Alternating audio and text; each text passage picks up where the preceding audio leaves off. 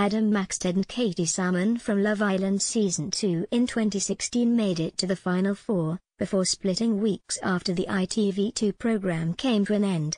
The pair suffered a bitter split, with Adam comparing his ex to a kebab in a cruel tweet and Katie comparing him to a pair of socks. After going their separate ways, like most other former Love Island pairings, the ex-couple now live very different lives with Adam becoming a bodybuilder and Katie becoming a social media influencer. This is what Adam and Katie from Love Island's second series are up to now. Why did Adam and Katie split?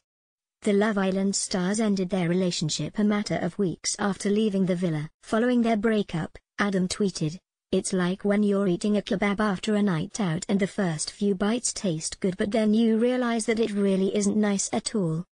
Hitting back, Katie tweeted, it's like getting socks at Christmas. Practical but no fun.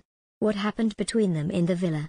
Katie had a short fling with fellow contestant Sophie Gradon in the villa, not long after having entered the competition.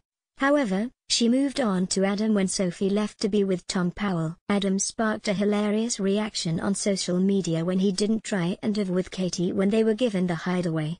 Instead, he nervously rolled over and went to sleep when they climbed into bed together. The duo made it to the final, but Cara de la Hoyde and Nathan Massey were crowned the winners. What is Adam up to now? Adam is a professional wrestler and personal trainer, and has previously declared himself the most handsome man in wrestling. He is in a new relationship with fellow gym bunny Carly Taylor and the couple often jet off to luxurious locations together for a romantic break. What is Katie up to now? Katie has transformed her appearance since starring on the show and now sports long dark braids. Sharing images to his 196k Instagram followers. She often posts pictures of her outfits on Instagram to her 235k followers and recently teased she has a YouTube blog coming soon.